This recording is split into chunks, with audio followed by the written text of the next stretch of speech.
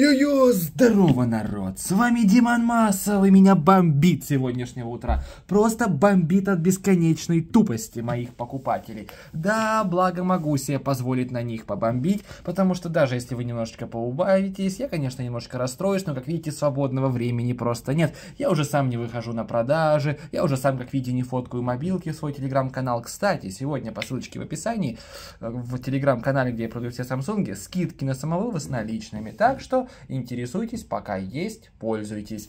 А я начинаю бомбить, да. Значит, смотрите, бомблю на своих покупателей, как безжалостный продавец. Потому что, ну как можно быть таким тупым, а, Данил? Вот это твое лицо? Похоже, что да. Потому что как быстро можно будет отправить телефон. То есть торопит меня с отправкой и хочет купить. Я ему даю ссылочку на Авито. Там Galaxy S21. Я думаю, что, ну блин, ну S21, как бы там сейчас заморачиваться с предоплатой. Думаю, ладно, человек, наверное, покупает, все, не буду брать. Вы знаете, что обычно перед Авито доставкой я беру какую-то сумму, там 2-3 тысячи рублей, чтобы понимать, что человек точно понимает, что он хочет купить, сразу оплатить комиссии Авито и так далее. Здесь я просто ему скидываю объявление без предоплат. Он оформляет, да? А сегодня он мне, блядь, пишет. Э, отменил заказ, телефон больше не нужен. А что ты, блядь, сделал? Нашел свой старый у себя в жопе, я не могу понять. Ну реально, сдуреть ты тупой. Ты торопился отправкой, я тебе его отправил, а теперь ты, блядь, отменил заказ. Тебе тут же вернулись деньги, да. А телефон теперь будет ехать до тебя, а потом до меня обратно. И я, блядь, теряю до хера дней просто из такого дурачья, который не может подумать дольше суток, нужно ли ему покупать телефон или нет. Поэтому ко всем адекватным покупателям я потом отношусь вот так. Вы чё, хотите купить мобилу? Предоплату 2000 и поговорим. Потому что это вот дерьмо мне надоело. Еще тоже странный человек. Покупал у меня телефон, молодец, все хорошо, спрашивает, скидка на следующую покупку есть? Я такой, о каком лоте идет речь? Его пока нет, я так на будущее. Хотел бы S24 Ultra на терабайт. Я такой, ну, в канале есть S24 Ultra на терабайт. Он такой, я видел, но нужен другого цвета, да и есть то только 100 тысяч рублей. Я такой, ну, 100 тысяч рублей за терабайт на 24 Ultra, это нереально за новое, очевидно же, да? Я такой, ну, может быть, добавлю, ближе к делу будет видно. Я хотел узнать, возможно ли скидка. Как я могу сказать, возможно ли, блядь, скидка на лот, которого еще даже нет в продаже, и мы даже не знаем, о какой цене в итоге мы говорим. То есть как можно знать, возможно ли скидка, да? То есть одно дело, если я выставлю лот, и на него там сразу будет три желающих. Как думаешь, возможно скидка? Я думаю, нет. А если я выставил лот, а он висит уже там две недели в канале какого-то черта, как думаешь, у него возможно скидка? Ну, то, наверное, возможно. Но как это можно спрашивать еще даже до выкладки лота и до понимания цены? Я просто не понимаю. Дальше.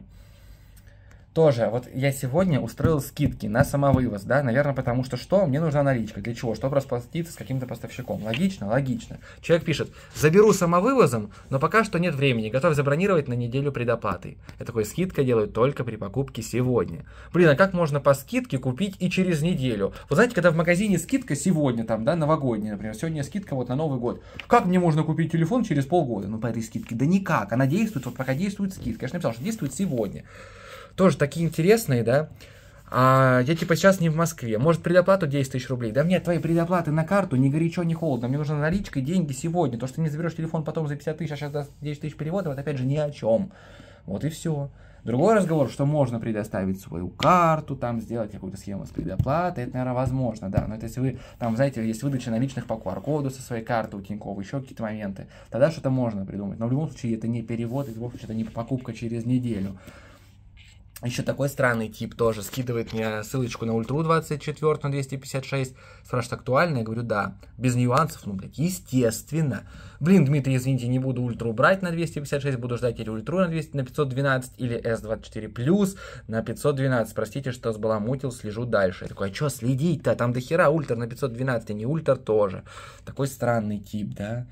Дальше, э, тоже вот этим вот людям большое спасибо, которые потом не ленятся после того, как забрали телефон, э, написать что-то, знаете, не просто вот как я напишу там в телеге, да, типа, знаете, вот по поиску, да, сейчас, секунду, что происходит, происходит, погружаются чаты, что вот я напишу там по поиску, например, забрал, да, и они там напишут, что типа, Забрал, спасибо, все, забрал это, это, спасибо, забрал, забрал, все, супер, телефон забрал, молодец. Но и как бы, или там, например, получил, да, тоже могу посмотреть, кто там телефон получил и хотя бы так отписался. Тоже хорошо, что отписались, потому что я сразу понимаю, что там человек телефон получил, все типа нравится, как бы заказ закрыт, и отлично, у меня уже голова не болит, что там с ним, да. А есть люди, которые там нормально распишут прям подробно. Но мне полезнее всего, если вы там отзыв на Авито оставите, да? Потому что если вы покупаете через Авито доставку, как раз таки отзыв можно оставить на аккаунт Авито. Другой разговор, да, что этим аккаунтом я сейчас пользуюсь, через месяц, может, пользоваться уже не буду. Поэтому в личку тоже приветствуется, в комментариях на ютубе тоже приветствуется. И типа, вот человек ждал, ждал, ждал, ждал, мониторил, мониторил, мониторил, мониторил, и в итоге намониторил в конце 24 года 23 ультру производства августа. Навье, навье, рад и доволен. Ну, прекрасен. За это большое спасибо. Дальше тоже, вот такие вот люди меня бесят просто с таких покупателей. Вот просто возьмите и не покупайте у меня, и даже не смотрите мой канал, просто. Потому что вы смотрите канал, и вместо благодарности за то, чему я вас здесь учу, там, да, как проверить герметичность, как отличить паль, как отличить коробку и так далее. Вы что это уже знаете? Знаете. А вот есть люди, которые на покупке ни хера, а спустя несколько дней там, или неделю, уже не знаю сколько после покупки, не помню, не, не вдавался в подробности, пишет мне, Купила с 21 телефон в 24 году. Добрый вечер, подскажите, при надавливании ведь должно давление увеличиваться и скидывает мне видео. Ну вы знаете эту проверку, да, на барометр. Э, проверка на герметичность, насколько плотно задняя крышка прилегает к телефону. То есть вы берете, заходите в звонилку, вводите звездка решетка на звездка решетка, выключаете автоблокировку, если не работает, раз работает, и заходите в сенсор, да, смотрите барометр 995. Если вы надавливаете на телефон, то у вас давление подскакивает. Видите, у меня есть колебания от 992-3 до 98. Но это прям новый телефон, поэтому здесь такие большие колебания. Со временем эти колебания уменьшаются. Но в любом случае, одна единичка хотя бы должна колебаться. Если она не колеблется, это значит что? Что телефон воздух не держит. Выдержит ли он воду? Вопрос. Но если есть колебания, что он держит даже воздух, раз держит воздух, то воду точно выдержит. Вот. Но если человек покупает 21 телефон в 2024 году, очевидно, что за это время у него могли быть нагревы, охлаждение, какой-то изгиб в заднем кармане штанов, если кто-то сел, какое-то падение, еще что-то, какие-то микрощели, очевидно, могли появиться. Поэтому отвечать за герметичность 21 телефона в 2024 году я не собираюсь. Если вам это важно, проверяйте это на встрече, да? Я вас этому учил. Для чего? Соответственно, на встрече он этого не проверяет, и ему важно, чтобы телефон работал. Телефон работает, то, что внутри полностью оригинальный, ничего не менялось, я гарантирую. То, что он не герметичен, для 21 поколения в 2024 году это нормально. Вы очень мало найдете телефонов тех лет, которые спустя столько времени просто этот клей, все эти зимы, лето, жару и холод пережил и держит абсолютно все. Это, это глупо такое искать. Надо быть более приближенным к реальности. Если хотите 100% герметичный телефон, нужно брать телефон не больше был полугода. И то проверять эту герметичность, потому что даже за полгода вполне она может пропасть у вас. Так что это дело такое. Именно поэтому официально не дают гарантию на погружение в воду и утопленников. Ну и вот. Короче, я говорю, если говорить про полную герметичность, чтобы засувать телефон в воду, то да, без увеличения давления этого делать не стоит. А что считается типа гарантийным случаем у вас? Друг брал у вас тоже телефон такой же, у него все ок. Может есть вариант поменять?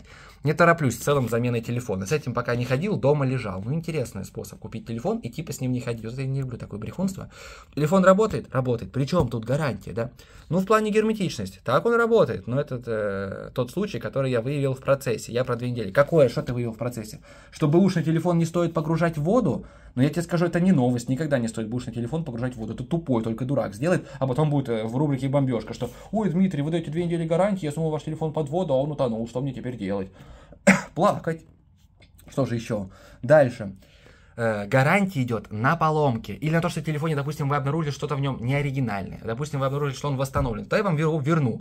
Но она не идет на то, что у вас телефон не герметичен стал, видите ли. Еще и старый телефон. Во-первых, если для вас это было важно, вы могли это проверить на встрече. По моим же видео ты этому научился, но при этом сам ты проверять этого не стал. Так ты тупой, получается. Если бы нет, вообще бы этого не знал. И в чем-то проблема. И если телефон не герметичен, и он старый, но внутри он оригинала не вскрывался, как я и заявлял, то какая тут возврат, какая тут гарантия, да? Потому что он вполне мог его за это время и уронить, и разгерметизировать, и придавить, и сделать изгиб корпуса и так далее. Ну, я пишу.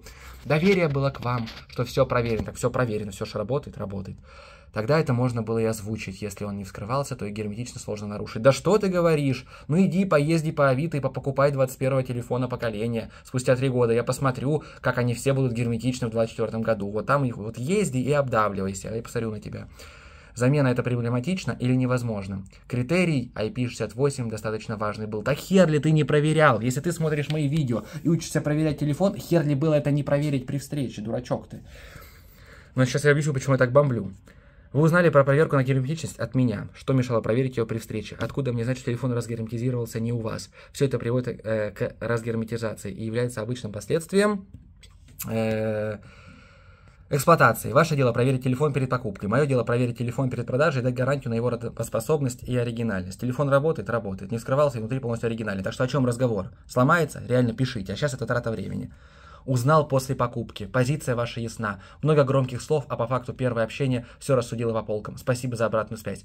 Спасибо бы сказал за полезные видео, как ты научился это вообще проверять. А вот эту херню оставь при себе, его забанил и больше с ним дел иметь не хочу. Кто прав, кто, кто виноват, считайте сами, но я вправе выбирать своих покупателей. Уж извините, если я вас этому обучаю, а потом вы по моим видосам этому обучились и начинаете мне за это предъявлять, хотя это очевидно, что это не будет работать на старых мобилках, ну или если даже будет, то это таких мобилок единицы может быть, да, и сотни. И если она и так не вскрывалась и просто разгерметизировалась со временем, ну блин, чувак, телефону три года.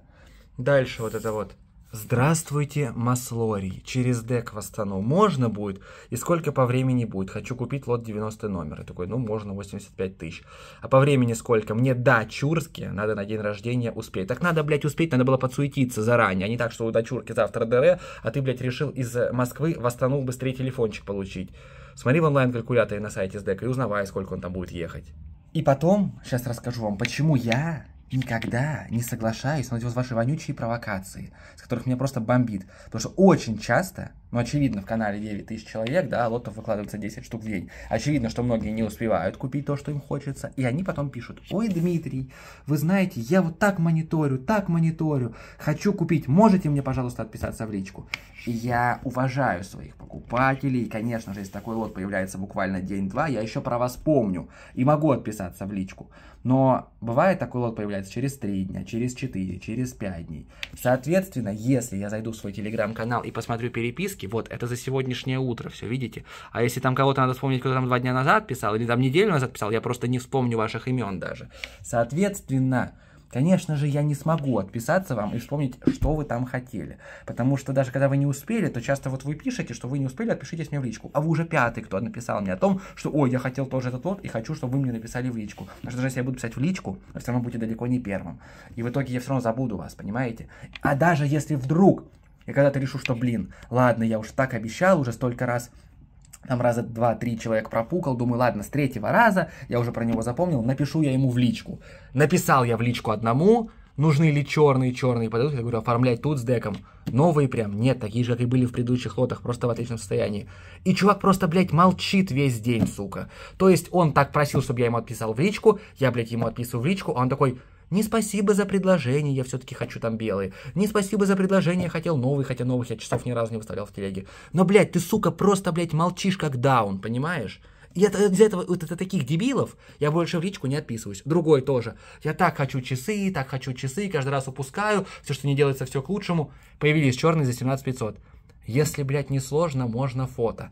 Если бы было не сложно, я бы уже сделал, блядь, эти фото и выложил их в канал, а не в личку к тебе писал. Если я пишу в личку, я ожидаю быстрой реакции, как и ты ждешь от меня, что я сделаю для тебя жест, так и ты сделай жест от меня. А он мне пишет.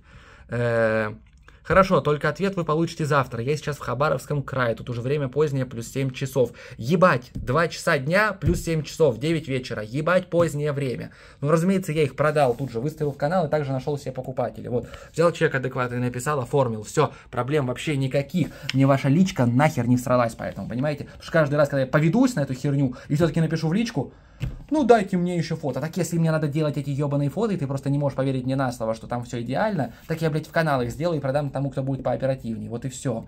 Бомбить с этого невыносимо. Дальше тоже люди все время обещают приехать. Я уже тоже не беру предоплату, потому что я вижу с тех, кто как-то пишет не очень четко, да, я уже даже предоплату не прошу скинуть, потому что потом же начнется, он скинет тысячу рублей предоплаты, которая невозвратная, а вечером начнется, ой, я передумал, можете вернуть тысячу. Нет, блядь, не могу. Вот и все. Но я уже не хочу даже с этим связываться и портить совесть. Кто более-менее реально хочет забронировать, он скидывает эту тысячу рублей. А кто не хочет, потом начинается, извиняюсь, передумал, пишу заранее, чтобы не ломать вам вечер. Так ты изначально просил встречу на вечер на 18.30, в итоге 18.40 ты пишешь, что ты передумал. Сдуреть не сломал вечер, да? Я, блядь, прям уехал с работы раньше. Ну, то есть, как бы, хорошо, что написал, да? Хорошо, что написал. Но учите, что если я с вас не беру предоплату, значит, что, во-первых, я за вами не держу бронь. Это во-первых. А во-вторых, Просто извиняюсь, передумал, вы, блядь, подумайте 10 раз перед тем, как покупать, а не вот это вот все. А не так, что вы оформили телефон, быстрее отправьте, а на следующий день, ой, телефон больше, блядь, не нужен. Что, из жопы второй вывалился? Ну реально же дичь. Просто трэш какой-то. Дальше. тоже человек спрашивает, ой, а что-то у вас на Samsung 22-м, э, то надпись Samsung есть на задней крышке, то нету. Блять, вот какой эти, вот видите, вот такими-то углами к свету надпись Samsung видна, да, а под какими-то, вот если на нее смотреть, она как бы, ну, не видна, да, то есть она как бы на матовой крышке глянцевой, она то отсвечивает, то нет. И там в фотках также. И, соответственно, я ему, блядь, отвечаю, что это игра света, прикрепляю, блядь, видос, чтобы что? А, все, понял, спасибо. Ну, пожалуйста, блядь, но если ты не интересуешься покупкой телефона, если это не единственный вопрос, после которого ты готов его купить, какое, блядь, тебе дело? Почему на одном фото видно надписи, на другом, блядь, не видно, да? Ну, это ж трата времени, ебаная. Просто трата времени. Дальше. Вообще, как может 24-е поколение ультры снимать лучше и качественнее, если у него оптику уменьшили, и теперь он снимает в 5х, а 23 снимает в 10х? Ой, блядь, хорошо, как она может, блядь, снимать лучше, да? А ты в курсе, что 10x были там 10-12 мегапикселей, точно не помню. А это пятикратная оптика 200 мегапикселей, или сколько? 50 мегапикселей, 50 мегапикселей. То есть она по мегапикселям в 5 раз больше, по оптике всего в 2 раза слабже. При этом она гораздо более светосильная, потому что у нее оптика меньше. То есть у тебя более светосильный модуль, и больше у него разрешение до хера раз. Как он может лучше, блядь, снимать? Ну подумай своей головой, как он может лучше снимать. Понятно, что если день, штатив, солнце яркое, вам нужно приблизить в 10 раз, оптической силы вам хватит, еще больше приближать кадр вы не будете, разрешение вам нахер это дополнительное не нужно, то 10x оптики, по идее, при прочих равных должны были бы сделать лучший кадр. Но часто снимается вечером, часто снимается в не лучшем освещении, часто потом еще хотите покропить, и, соответственно, вот вам пятерка лучше тащит.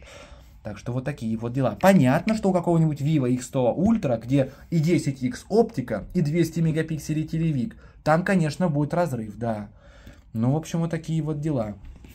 Э, потом что еще, что еще?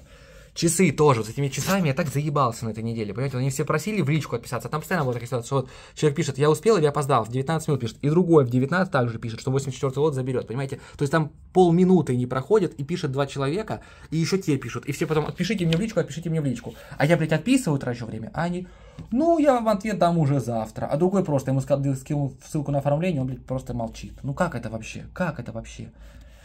Вот вам еще история. Такого человек тоже не видел, да и я, в принципе, тоже. Так что будьте осторожны при покупке телефона с рук.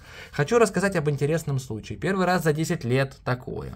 Были разные трубки, лизинг и демо, присылали и прошитые, и рутированные. Но вчера забралось 22 ультра СТК. Полностью проверил, все на первый взгляд было идеально. После постановки телефона на зарядку вышло сообщение, что телефон принадлежит вашей организации. Это насторожило, тел, тел корпоративный. Сделал сброс через рекавери, надпись исчезла. Продавец утверждает, что его тел по профилю действительно, и что человек занимается недвижкой, даже золото поднимает, продает. Думаю, зачем ему подставляться под статью из-за 40 тысяч рублей. Под какую статью он подставляется. Он отправил телефон Авито доставкой, ты его в пункте выдачи проверил и забрал. Вот эти вы покупатели, вы такие самоуверенные просто, понимаете? Что вот, я купил, если вдруг что, я сразу пойду в полицию, с ним так разберутся, блядь, чувак. Ты забрал? Забрал, съебался, все. То, что ты там забирал, то, что э, ты мог подменить это телефон, где там имейл прям так были указаны. Хер ты что докажешь, хер тобой будут сюсюкаться. Тебе отправили телефон, ты проверил, забрал. Ты уже мог в нем плату поменять, ты уже мог имейл в нем перепрошить, что угодно с ним сделать. Ни одна полиция тебе в этой ситуации не поможет. А то, что там кто-то проверял золото в своем профиле, это, блядь, ни о чем. Понимаешь, просто детский лепет. Ну да ладно. Это я на будущее говорю, не конкретно ему. Системных приложениях нашел программу такую-то и удалил ее софтом. Ее просто так не удалить. Но то, что вы удалите программу, вряд ли блокировка слетит. Она же удаляет, телефон блокируется дистанционно. Э, погуглил, были случаи, магазины тоже продавали такие трубки, если они были привязаны к админу, то только через сервисменов, и чеком с магазина можно было их отвязать. В моем случае телефон был отвязан от админа, просто не удалили приложение. Бывают и такие интересные ситуации. Может, кому-то поможет при покупке. Я уж не знаю, кому это поможет при покупке, это поможет просто обосраться при покупке, потому что даже по проверке на лизинг через э, меню загрузки у него чекинг 0.0, то есть как бы не лизинг, да, чекинг, это может быть какие-то вопросики, но все равно 0-0, так что по идее нет. А на экране блокировки это устройство принадлежит вашей организации. И что с ним делать? Хер его знает, понимаете? Так что все это дело стрёмное. Потому что вот есть такие Влады на 136 отзывов, которые терабайтную ультру типа абсолютно паленка, да, нет надписи на задней крышке, муляжи вместо камер. Ну, короче, вообще подделка в пластиковой коробке, э, которой цена 5000 рублей. Продают за 50 и расписывают о том, цена реальная, не ремонтировался, не скрывался, все работает идеально, камеры, динамик и так далее. Ничего так, что там вместо четырех камер, три из них пластмасски вообще, муляжи вонючие, одна на 2 мегапикселя. Внешнее состояние новое, без единого скола или царапины, полный комплект, телефон, коробка, стилус. Так еще и этот мудак потом, я видел, кто-то успел, может, в телеграм-канале за... увидеть, я скидывал ссылку на это, потому что это было вообще наверх наглости, потому что он продает Samsung, у него дохера отзывов, и он, то, что это подделка, знает, и пишет как оригинал. Соответственно, я уставил свой телеграм-канал, и просил быстренько людей накидать жалоб на этот профиль. И объявление удалили, я думал, о, заебись, накидали жалоб, все, удаляю с телеграм-канала, что там ссылка больше не работает, потом бомбежки покажу. Так потом я смотрю, оно не забанилось, оно просто на проверку ушло, он цену, блядь, поднял до 56, ёбнутый просто. Ну да ладно. Эм, дальше. Есть ли смысл париться и искать S24 на снэпе или купить в официальном магазине версию на Exynos и с гарантией? В игры на смартфоне не играю, в остальном пользуюсь для браузера и чатов. Что за выбор? Либо я беру версию на снэпе S24 у серовозов, то есть, в принципе, к серовозам ты относишься неплохо, либо ты говоришь брать у официалов на Exynos с гарантией. А как насчет взять тогда уж Exynos без гарантии у серовозов и сэкономить 20-30 тысяч рублей? Потому что Snap ты взять можешь, да, который в принципе для России не супер предназначен может быть. А Exynos, который для России будет работать хорошо, ты хочешь брать именно официалов. Нахера? Ты, получается, к серовозам нормально относишься. Нахера ты хочешь переплатить 20 тысяч рублей? Или это понты вонючие? Ну, дичь, дичь. Схема хейта Дмитрия. Первое. Какое дерьмо выпустили? Любая фирма, ну как я бомблю по разным фирмам, да, например, Mate XT, который стоил там 350 тысяч, да, и в нем характеристики технические на телефоны 2020 года, которые слабее уже в 3-4 раза, чем то, что происходит в другие компании сейчас. Нахера мне телефон за 300 тысяч, который гнется непонятно как, как туалетная бумага, да, чтобы он лагал. Он просто Яндекс Навигатор нормально даже не потянет. Нахера он мне нужен? Непонятно, поэтому я хейчу. Дальше. Второе. Какое дерьмо сделал Samsung? Ну а что я могу поделать, если реально был пятый фолд, выходит шестой, меняется дизайн, но у Vivo год назад уже был телевик нормальный в фолде, здесь нету. У Vivo есть быстрая зарядка, тут нет. Ну и так далее. Многие функции не дотягивают, да, у Samsung. Дерьмо сделал, сделал. Дмитрий купил его себе. Ну, неплохо, молодец, Samsung. Ну, а что я могу еще сделать? Если у меня был пятый фолд, очевидно, я возьму шестой, потому что он чуть получше. Я работаю в этой сфере. Что, я с пятым буду ходить? Лох, что ли? Нет, не лох. Соответственно, очевидно, возьму шестой. И скажу, что он неплох, потому что он получше пятого, да. Но на фоне конкурентов по технической части слабовато. Дальше. М-м- тоже мне понравился человек, э, хотел себя увидеть в рубрике «Быстрые клиенты». Ну вот, соответственно, что, имя его сказать? Ну, он Лютов Вадим, соответственно, быстрый клиент, быстренько все взял, оформил, лишних вопросов не задавал, молодец, но таких клиентов у меня до хера, так что тут ничего нового. Дальше, значит, м-м, вот это тоже отдельная просто история, просто отдельнейшая история, сейчас я вам расскажу. Пишет мне Чувиха, что хотела купить ультру. Потом такая, я возьму плюс. И спрашивает, чем отличается ультра и, блядь, не ультра. Я такой, ну, блядь, наличием стилуса, как минимум. Потому что если ты не в состоянии понять, чем отличается ультра от не ультра, хоть немного посмотреть в интернете обзоры. Я уж не говорю сделать вот так, просто, понимаете, можно же в интернете взять сайт, да, на на ревью, и на нем просто вбить, например, да, э, где тут это, сравнение смартфонов, ввести, если ты уж совсем тупой, хочешь все в одной обзорочке посмотреть. Почему я говорю совсем тупой? Потому что у тебя есть деньги на телефон за 60, 70, 80 тысяч рублей, но ты абсолютно не понимаешь, за что ты их платишь. Это очень тупо, это очень тупо. Соответственно, сравнить. И вот здесь вы посмотрите, в чем разница. Вот максимально, вот просто-просто, максимально просто. Написано, что есть типа Wi-Fi и оптический зум 5X. Ну, так себе, если честно, сравнение. Тут, походу, реально надо смотреть мои обзоры, да, потому что, если честно, здесь как-то написано все херовенько. Но в любом случае, вот так вы по обзору посмотрите, ага, что-то чуть-чуть пол... Ну нет, это дерьмо, если честно. Это вообще мой совет, просто, блин, нахер. Вот так самому сравнивать, это как-то долго. Тупой сайт, если честно. Тут еще есть соотношение типа точек на дюйм больше у плюса. Но оно так и есть, но просто смысла в этом нету. Соотношение экрана к корпусу у плюса получается лучше тоже. Типа меньше рамки. Но это, конечно, дерьмо. Дисплей типа лучше у ультра. Окей, хотя мне кажется, там одинаковые дисплеи должны быть. Ладно, ну короче, тогда рассказываю для глупых. Snapdragon в ультре, в плюсе для нашего рынка Exynos. Стилус в ультре, здесь стилуса нет. Э, камеры 200 мегапикселей основной модуль, 50 мегапикселей основной модуль. Есть макросъемка на сверхширике? Нет макросъемки на сверхширике. Есть телевик нормальный, мощный, 5X? Нету мощного телевика.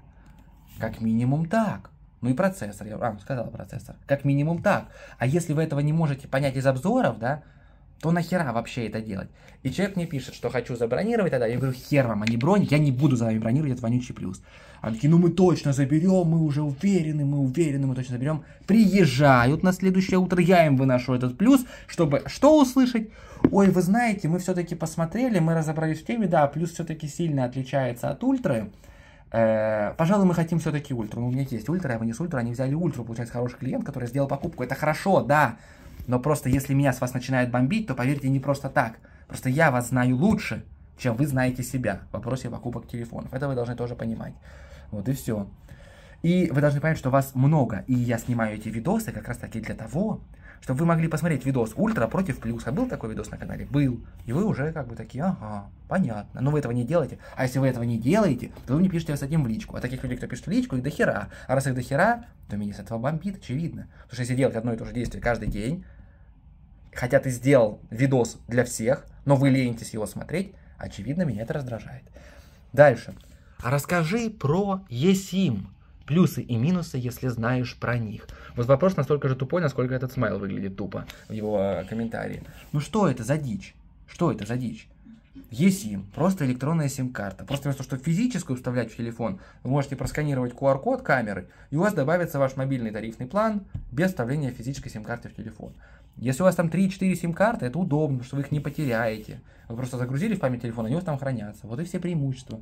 Что здесь непонятного? И вот эти вот брехуны про Huawei XT, вот это 300 или 500 тысяч, сколько уж там он стоит. Ну ты не прав про Huawei. Я пользуюсь вторую неделю и сравниваю с Fold 6. Да, вот ты, конечно же, чувак, имеешь миллион рублей в кармане на мобилке. И почему-то Fold греется чаще. Ну ты не разобрался, Дим. Я всегда с тобой согласен но не про Mate XT. Если тебе интересно, я могу дать его на тестирование. Ну и где ты, тестировщик хуев? Я сказал, давай, пиши в телегу, было бы здорово. И что, блядь, брехун, потому что вонючий. Потому что нет у него никакого Huawei, блядь, XT, очевидно. Просто кому вы врете? Кого вы пытаетесь наебать? Меня, который это спалит на раз-два, еще и написать, могу тебе дать на обзор. И где это, это обзор? Где ты мне его дал? Что это за, за смех какой-то? Дальше, как вам такое? Человек едет ко мне покупать телефон и пишет, звучит дико, но у меня нет мобильного интернета. Чувак типа едет за ультрой за 80 тысяч рублей, но у него на телефоне нет мобильного интернета. Это адекватный покупатель? Как думаете, я реально его жду? Или можно даже тысячу рублей не предлагать скинуть? Я думаю, что можно не предлагать. Ну, конечно, всякие ситуации бывают, да? Но звучит реально дико. Дальше.